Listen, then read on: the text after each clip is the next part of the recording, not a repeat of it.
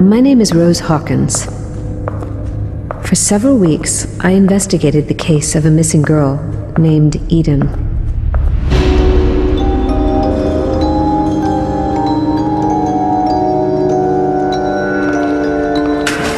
If you are listening to this message, it means you finally woke up.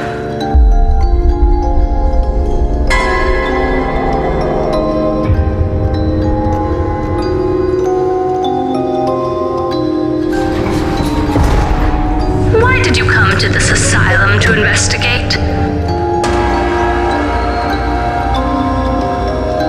Why did you come alone? I would like you to help an old friend of mine. You just need to find her and set her free.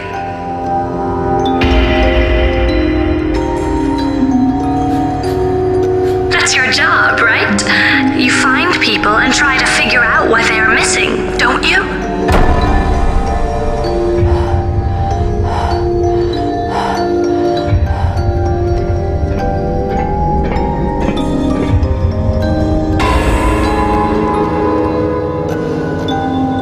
need you, Inspector.